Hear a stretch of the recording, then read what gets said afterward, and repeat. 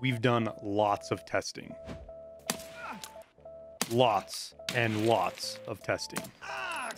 And the entire purpose was to find issues with the armor system, specifically so players could avoid them or find workarounds for them. But also was hoping for a side benefit of shedding some light on this stuff to help BSG track it down and hopefully patch and fix them sooner than later. Unfortunately, after all of this testing, the only thing I'm sure of at this point is the armor system as a whole appears to be in a mess.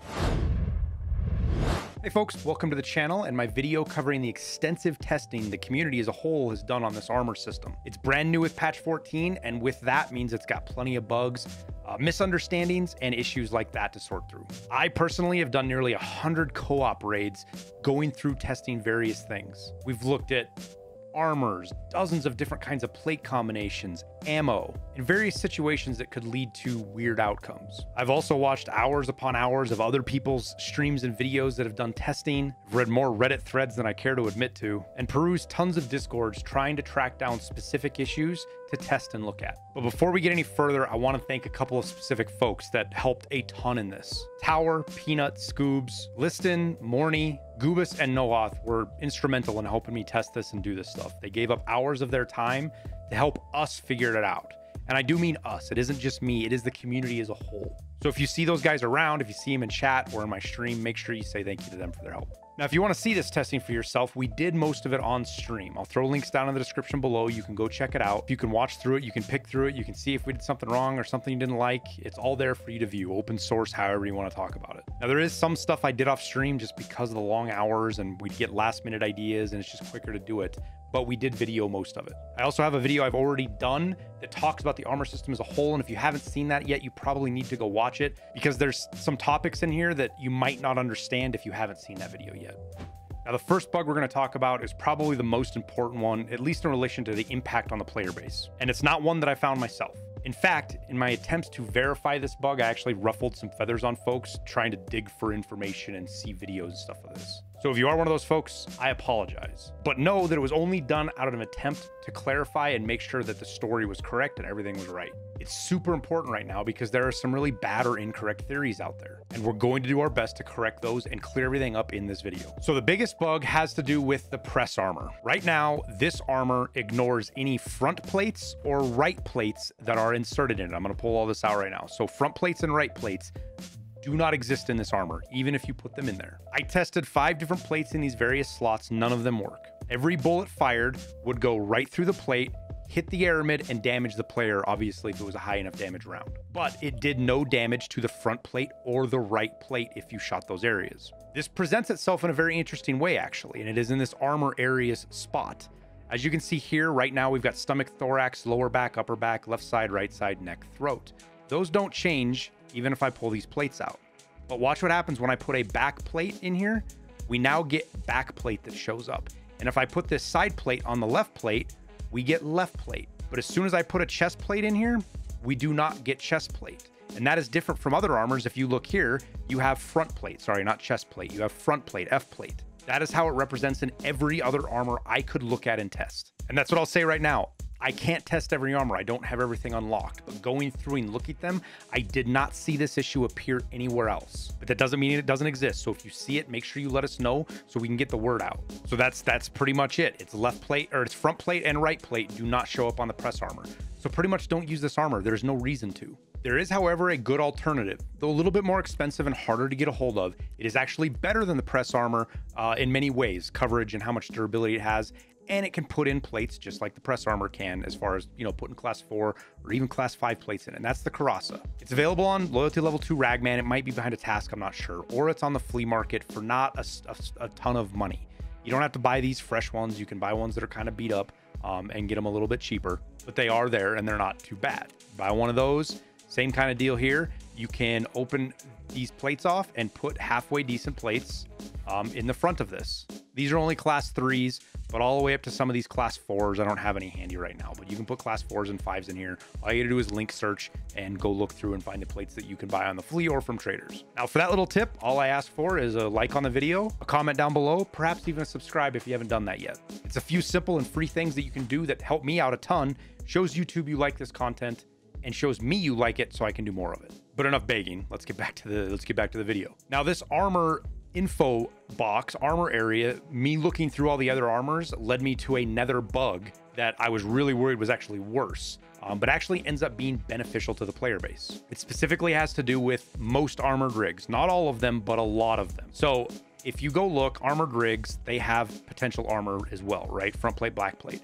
And depending on, not all of them, but most of them have chest inserts and back inserts as well for armor, class two, sometimes class three. But if you go to the armor areas, all you see is front plate and back plate. Now this made me think, oh my God, the aramid's just getting ignored because you're not seeing the same as you do here where you see thorax, stomach, upper back, lower back, you know, all of these other things. You're not seeing that on here. Well, what we did is we pulled the plates out to test it and what we discovered was actually something really cool. The Aramid actually acts like hard plates, not soft plates. Now, again, for a more detailed explanation, this go check out my video I did before, but long story short, Hard plates stop blunt damage. If they stop the bullet, no blunt damage gets through. Soft plates, which are these inserts, soft armor aramid usually, they do carry blunt damage. So even if they stop the round, you're still going to get some damage carried through based on the ammo and some other crazy uh, calculations. But in testing this, what we realized this aramid acts like hard armor. If it stops the round, no blunt damage gets through.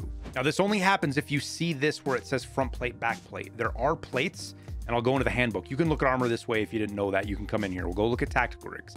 There are that don't display like this. The M1 rig is, for example. As you can see, it has stomach, thorax, lower back, upper back, left side, right side, and then front plate and back plate. It has those, dif those differentiated. This does not work like that. But if you go all the way down and let's go look at, say, the TV115, this is popular on Rogues.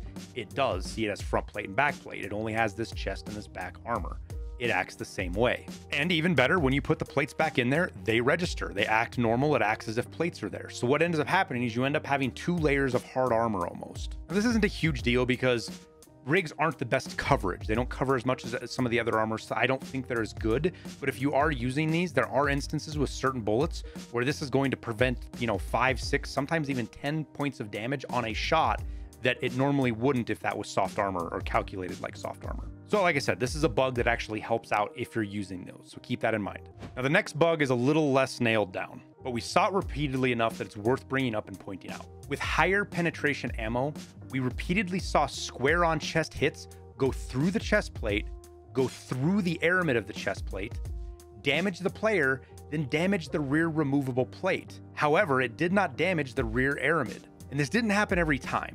There is some other variable we couldn't quite nail down, but it did happen more than half the time we tested it. This does not happen in reverse though, at least we never saw it. Backshots that penetrated the plate also went through the aramid and damaged the player, but did not damage the front plate. There didn't seem to be anything that could prevent this, so it's more of just a warning so that you know what is happening when you see it. Now, the next really crazy thing we saw happened with what I call specialty steel plates. These are the kind of non-universal plates that only fit specific armors. It's things like this diamond-shaped shaped 6B33 uh, that goes in the 6B armors or the Zucks, as well as the 6B13 armor, uh, which is this one right here which only goes in this 6B23 armor. As we wore down the durability on these plates and we got to where the shot that sent it to zero durability, if the removable plate didn't stop that final round, which it did sometimes, that round would ignore the aramid on that shot only and damage the player. We saw it do this nearly 20 different times in about 30 tests. It's not a rare incident. It's a common incident as long as the, the above the before mentioned conditions are met. Now, again, there's not really anything you can do about this other than not run those armors, but it's just a weird thing I wanted to point out and show you that was happening because it kind of builds up to where I'm going to get to at the conclusion of this video. Now, the last topic here isn't necessarily a single bug, but more of a severe overarching issue. Through the testing, we came across a series of various bugs that interacted in different ways, were difficult to repeat 100% of the time, but showed up enough to know that they weren't just one-offs and they weren't weird. And they show up when you start pushing this, this new armor system to its boundaries, which makes the whole system kind of break down in this nonsensical fashion. Now, again, these things aren't completely random because we are able to make them happen repeatedly, but we have not been able to nail down enough variables to make them happen every time. So I just want to make sure that we're clear on that, that we don't have these totally figured out, but they are important and they need to be known by everybody. And again, hopefully it'll help BSG figure out how to fix them. Now, part of this issue is because there is inherently randomness built into these systems. Penetration, damage, fragmentation all have dice rolls associated with them. But these issues exist outside of those dice rolls. They're a product of them, but they're not because of them, I guess is the best way to put it. We repeatedly not only saw class four plates completely stop 60 and 70 pen ammo, like stop, stop, no damage to the character. But on the flip side, we also watched instances where that same ammo, SNB and M993, would one shot a character, which in the past hasn't been possible because they don't do enough damage. That was unless you were AI sniper, but that's a bug for another video and hopefully a previous wipe. We'll see. Now, this isn't just on class four plates. It was just that was where we saw it consistently enough that we could test it repeatedly and get good results. There are a few instances where class threes did this as well, the class three steel plates, but I only saw it happen twice with my own eyes, and that's in a few hundred tests. So while it's not impossible, it's such a small amount that I don't think it is super important. It does fit in with the bigger picture, but I, we didn't get into great detail with those. But with the class four plates, we saw 14 different instances with the 6B33 plates specifically, just these plates, where they completely stopped SNB or M993. Now, for those of you who don't know, 993 has 70 pen, SNB has 62.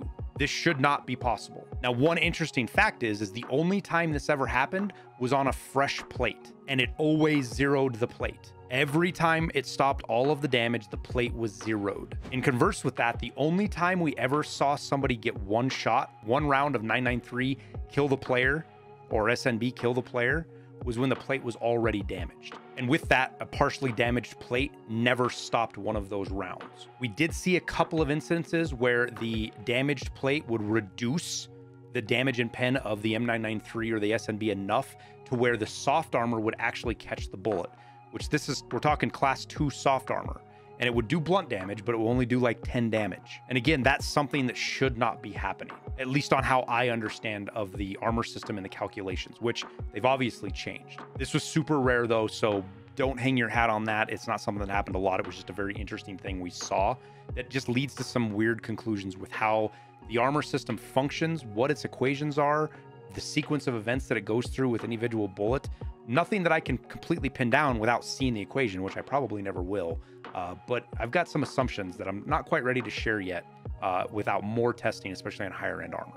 And this test did scale up to five and six, uh, class five and six plates. We did see similar results. The problem is, is we can't test it at scale.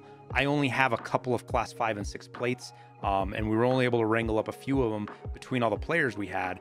And with the time it takes to get people into the raid, into the co-op, and do the test and reset, we were only able to get like four tests done every like maybe 15 minutes, maybe 20. So it just takes forever to do it versus the class four plates where we could do, I want to say we were doing 12 or 15 tests every 20 minutes. So we were able to just hammer through the tests much faster. So as I get higher leveled up and I get more money and more stash space, because that was actually a problem with trying to do this earlier, uh, we'll be able to do more tests and test this stuff further. Plus, once BSG starts patching stuff and changing stuff, we're going to need to redo testing anyways to verify that it's working and find any new bugs. Before we get done, keep in mind, it's not all doom and gloom. We did get some really good information about uh, plate materials, the armor types, coverage stuff, durabilities to certain kinds of ammos, all of that stuff. We got a ton of data on that. And it's consistent, it's repeatable, it's just a lot to pour over. And I'm still compiling that, and we'll do another video talking all about that here shortly. Pretty much I'll start on it once I get done with this one. So just make sure you're subscribed, because then you'll see it as soon as I drop it. Subscribe with that little notification bell.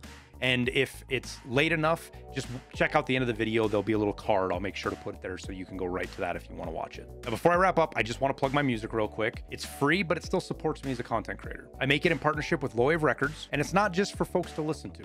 It's for content creators as well. We made it with the intent for it to be free for everybody to use. So you can use it in your YouTube videos or on your Twitch streams or YouTube streams, wherever, and not have to worry about DMC takedowns or copyright strikes or screwing up your VODs or anything like that. All we ask is that you attribute us so that folks are watching your content, they know where to find the music if they like it. But that's all I have. Thank you guys for sticking through the whole video. I really do hope it was helpful. And as always, I wish you the best of luck in your raids, and we'll see you in Tarkov.